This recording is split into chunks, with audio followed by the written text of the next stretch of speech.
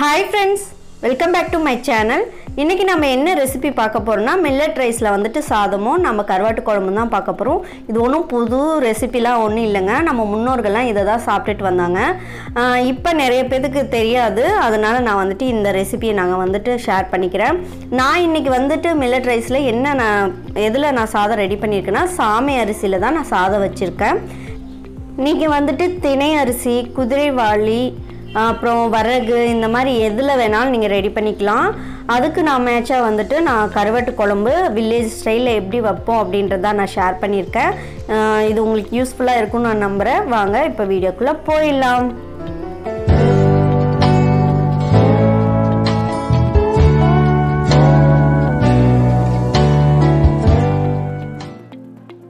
இதுக்கு ஃபஸ்ட்டு வந்துட்டு நம்ம தட்டைப்பயிர் நான் எடுத்திருக்கேங்க. தட்டைப்பயிறு ஒரு கால் கப் எடுத்திருக்கேன். இதை நல்லா ஊற வைக்கணும்.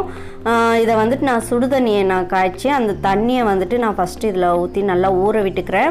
ஏன் நம்ம இப்படி பண்ணுறோம்னா இதை நம்ம நைட்டே ஊற வச்சுருந்தோம்னா இந்த இது தேவையில்லை. நான் நைட்டு மறந்துட்டேன். ஸோ நான் காலையில் வந்துட்டு தண்ணி காய்ச்சி அந்த சுடு தண்ணி ஊற்றி ஒரு த்ரீ ஹவர்ஸ் டூ ஹவர்ஸ் இருந்தாவே போதும். நம்ம நைட்டு ஊற வச்ச எஃபெக்ட் இருக்கும். அதனால் நான் இந்த மாதிரி பண்ணிவிட்டேன் இதை ஓரமாக வச்சுக்கலாம். இப்போ வந்து நான் சாம அரிசி எடுத்துக்கிறேங்க. நான் சாம அரிசி வந்துட்டு நான் ஒரு கப் அளவுக்கு எடுத்துக்கிறேன். இதை வந்துட்டு நம்ம ஃபஸ்ட்டு ஊற வச்சுக்கலாம்.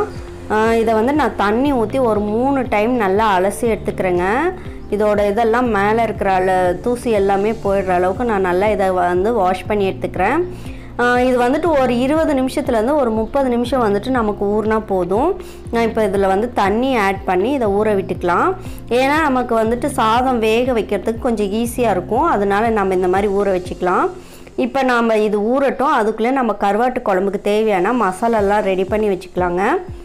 நான் இப்போ வந்துட்டு அதுக்கு அரைக்கிறதுக்கான மசாலா ரெடி பண்ணிக்கலாம். நான் வந்துட்டு கொத்தமல்லி ரெண்டு டேபிள் ஸ்பூன் வந்துட்டு நான் ஆட் பண்ணிக்கிறேன். சீரகம் ஒரு டீஸ்பூன். மிளகு ஒரு கால் டீஸ்பூன். இதெல்லாம் சேர்த்துட்டு நல்லா வர எண்ணெய் எதுவும் ஆட் பண்ணாமல் நல்லா வறுத்து எடுத்துக்கலாங்க. இது கூடவே காஞ்ச மிளகாய் ஒரு அஞ்சு எடுத்துக்கிறேன். இதையும் நல்லா வறுத்து எடுத்துக்கலாம். இது நல்லா வறுபட்டுருச்சு இப்போ நம்ம மாற்றிடலாம் அதே கடையில் நான் எண்ணெய் ஒரு டேபிள் ஸ்பூன் ஆட் பண்ணிக்கிறேன். இதில் வந்துட்டு நான் சின்ன வெங்காயம் உரிச்சு வச்சுருக்கேங்க அதை ஆட் பண்ணிக்கிறேன். இது வந்துட்டு ஒரு இருபதுலேருந்து இருபத்தஞ்சி சின்ன வெங்காயம் நான் ஆட் பண்ணிக்கிறேன். இந்த குழம்புக்கு வந்து சின்ன வெங்காயம் ரொம்ப டேஸ்ட்டாக இருக்கும். நான் பூண்டு வந்து முழு பூண்டை நான் முழுசாக உரித்து நான் ஆட் பண்ணிக்கிறேன். இஞ்சி வந்துட்டு ஒரு துண்டு இஞ்சி நான் ஆட் பண்ணிக்கிறேன். இது எல்லாத்தையும் நம்ம சேர்த்துட்டு நல்லா இதை வந்து வதக்கி எடுக்கணுங்க. இந்த மாதிரி நம்ம வதக்கி எடுத்து செஞ்சோம்னா ரொம்ப டேஸ்ட்டாக இருக்கும். இந்த அளவுக்கு வதங்கினா போதும். இப்போ வந்து நம்ம தக்காளி ஆட் பண்ணிக்கலாம். நான் மீடியம் சைஸில் மூணு தக்காளி நான் ஆட் பண்ணிட்டேன். இதை வந்துட்டு நல்லா சேர்த்து வேக விடுறதுக்காக உப்பு நான் ஆட் பண்ணிக்கிறேன். உப்பு ஆட் பண்ணிட்டு எல்லாத்தையும் நம்ம மிக்ஸ் பண்ணி விடலாங்க. இது நல்லா வதங்கினதுக்கப்புறம் பார்ப்போம்.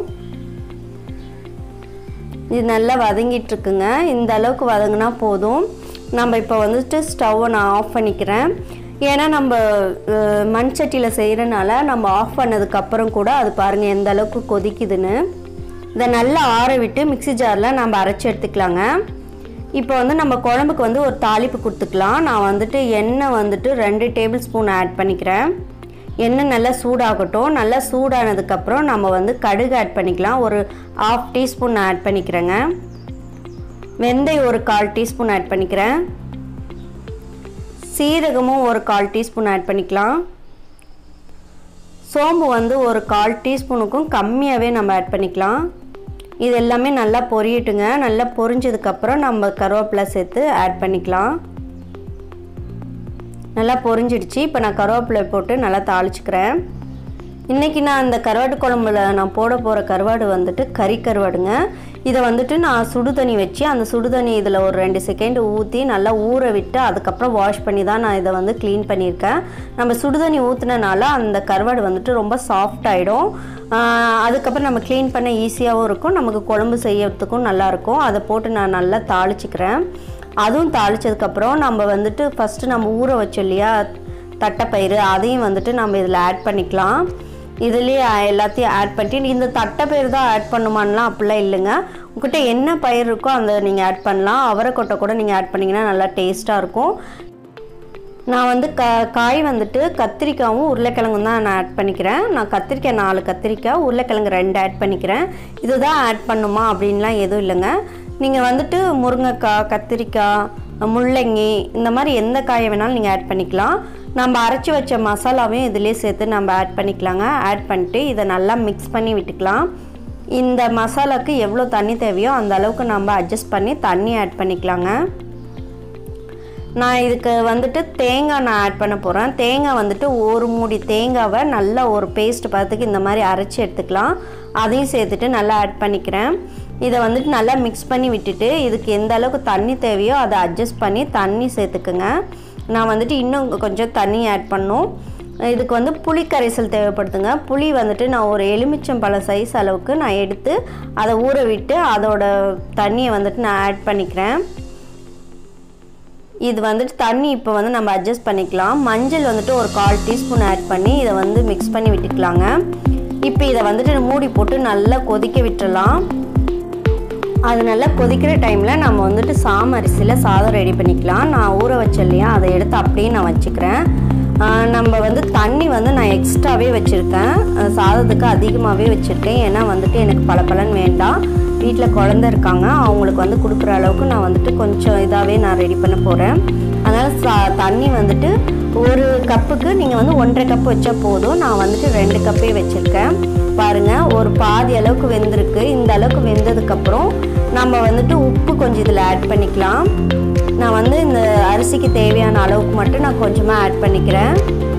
ஒரு ஹாஃப் டீஸ்பூன் ஆட் பண்ணிக்கிறேங்க. இதை நல்லா வேக விட்டுக்கலாம். இது நல்லா வெந்ததுக்கப்புறம் பார்ப்போம். இதை வந்து நான் நல்லா மூடி விட்டுக்கிறேங்க. பாருங்க நல்லா வெந்திருக்கு. இந்த அளவுக்கு உங்களுக்கு போதும்னா உங்களுக்கு வந்து நம்ம சாதம் மாதிரி நல்லா வடித்த மாதிரி வேணும்னா நீங்கள் இந்த ஸ்டேஜில் வந்துட்டு இந்த வாட்டரை வந்து நீங்கள் ஃபில்டர் பண்ணிக்கலாம். நான் வந்துட்டு எங்கள் வீட்டில் ஒரு வயசு குழந்த இருக்காங்க ஸோ அவங்களுக்கு கொடுக்கணுன்றனால நான் வந்துட்டு இந்த தண்ணியை வடிக்க போகிறதில்ல இதை வந்து நான் ஆஃப் பண்ணிவிட்டு நான் வந்துட்டு ஃபுல்லாக க்ளோஸ் பண்ணி வச்சுட்டேன்னா இந்த தண்ணி எல்லாமே நமக்கு இன்னும் நல்லா இந்த சூட்லேயே வெந்து அது வந்து நல்லா கொலையே கிடைக்கும். இதே நேரத்தில் நம்ம கருவாட்டு குழம்பும் ரெடி ஆகிடுச்சுங்க இந்த அளவுக்கு எண்ணெய் பிரிஞ்சு வர்ற அளவுக்கு அது கொதிச்சா போதும். நான் வந்துட்டு இறக்கிட்டேன். கருவாட்டு குழம்பு சூப்பரான டேஸ்ட்டில் ரெடி ஆகிடுச்சு அதே போல் இந்த கருவாட்டு குழம்புக்கு நம்ம சாமை அரிசியில் சாதம் பண்ணியிருக்கோம். சாமையில் இல்லை திணை அரிசி வரகரிசியில் கூட ரொம்ப டேஸ்ட்டாக இருக்கும். நீங்களும் இந்த மாதிரி கண்டிப்பாக வீட்டில் ட்ரை பண்ணி பாருங்கள் உடம்புக்கு ரொம்ப நல்லது.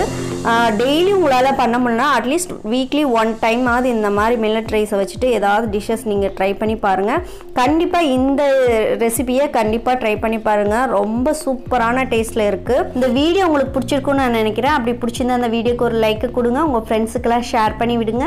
ப்ளீஸ் மறக்காமல் கமெண்ட் பண்ணுங்கள் அது எனக்கு நிறைய மோட்டிவேஷ்னலாக இருக்கும் இந்த மாதிரி வீடியோஸ் பண்ணுறதுக்கு நீங்கள் இதுக்கு முன்னாடி நம்ம சேனலை சப்ஸ்கிரைப் பண்ணலைன்னா இந்த வீடியோக்குள்ளே சப்ஸ்கிரைப் பண்ணுற ரெட் கலர் பட்டன் இருக்கும். அதை கிளிக் பண்ணி பக்கத்துலேயே பெல் பட்டன் இருக்கும். அதையும் கிளிக் பண்ணி ஆல் ஆப்ஷனை கிளிக் பண்ணிக்கோங்க. அப்போ தான் நான் போடக்கூடிய நியூ வீடியோஸில் உங்களுக்கு நோட்டிஃபிகேஷனாக வரும். ஓகே ஃப்ரெண்ட்ஸ் தேங்க்ஸ் ஃபார் வாட்சிங்